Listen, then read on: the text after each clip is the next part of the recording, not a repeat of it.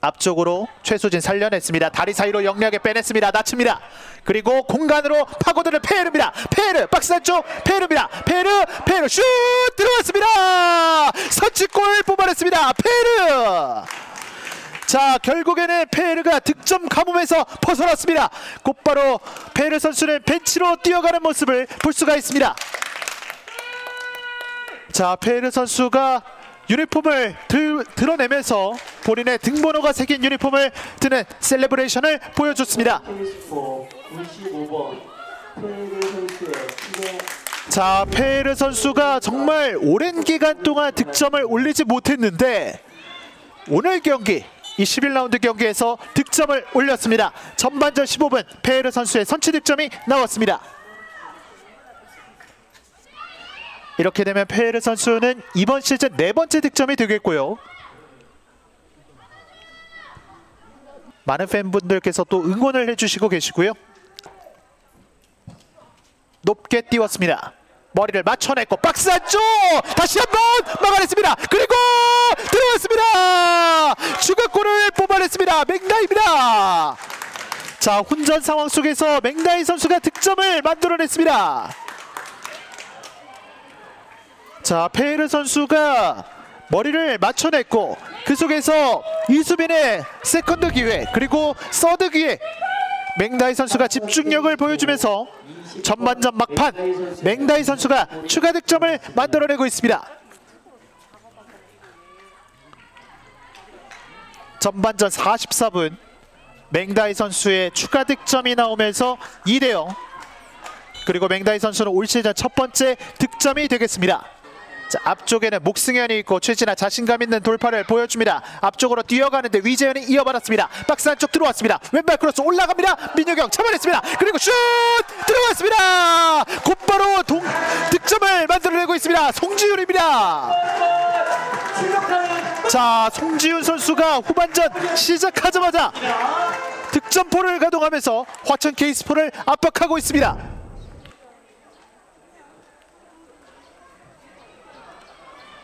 자 민유경 골키퍼가 한 번에 처리를 하지 못했고 그 혼전 상황 속에서 송지윤이 1번 이 득점을 만들어냈고 빠른 시간 동안 만회 골을 터뜨렸습니다. 자 순식간에 최진아와 위재은이 공격을 풀어나갔고 안쪽으로 침투하던 송지윤의 마무리가 있었습니다. 또 보여줄 수 있을지. 신호를 한 차례 보냈습니다. 감아서 갑니다. 높게 갑니다. 쳐냈습니다. 장혜원 다시 한번 나나세 굴려놓고 감아줍니다. 뒤쪽 갑니다. 들어왔습니다. 엄청난 득점이 나왔습니다. 나나세가 득점을 만들어내면서 동점골을 만들어냈습니다. 스코어 2대2입니다. 동점골 들어갔습니다.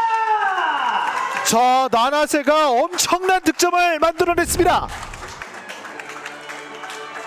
자 너무나도 팀의 득점을 한 이후에 셀레브레이션도 필요가 없었습니다. 선수의 동점골 두 번째 골이 후반전 60분이 되기도 전에 순식간에 득점 그리고 만회골 동점골까지 만들어냈던 창녕 WFC.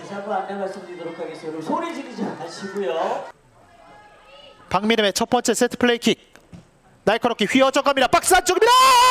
들어왔습니다. 박민음의 엄청난 득점이 나왔습니다. 곧바로 다시 한번 분위기를 가져오는 화천 케이스포. 자 지금 상당으로 상당히 날카로운 코너킥이 휘어져 들어갔고 이 과정 속에서 창녕 WFC의 자책골로 보여졌거든요. 자 끝까지 최선을 다한 송지윤 선수 나오고 자 이렇게 점수가 3대2 다시 한번 화천 케이스포가 앞서 나갑니다. 돌아뛰는 위재은 나나세.